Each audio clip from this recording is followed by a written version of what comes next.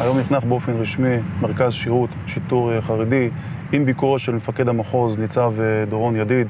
למעשה, בחודש האחרון פועלים כבר אה, כשבעה מש"קים בשכונות שונות, בשכונות החרדיות, על מנת להתחיל את הפעולות הראשונות, את הצעדים הראשונים ואת המתווה הראשון של מדדי ההצלחה של היחידה, על מנת להכיר את הקהילות, את הזרמים, להתחבר לרבנים, להכיר את התופעות המטרידות.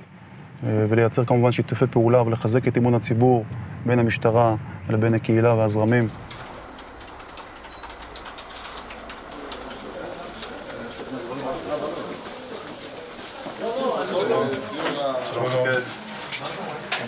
ולולא המש"ח הם לא היו מגיעים אלייך?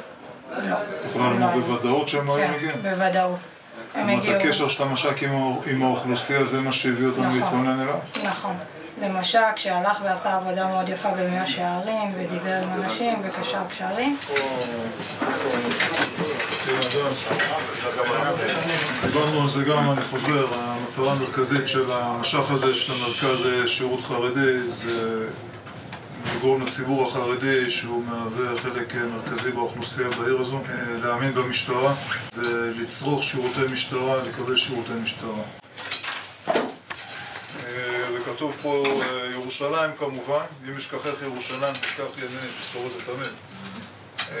מרכז שיטור חרדי עם הקמת היחידה עלו והצליחו במתן שירותי משטרה שוויוניים והוגנים, שיהיה לכם בהצלחה.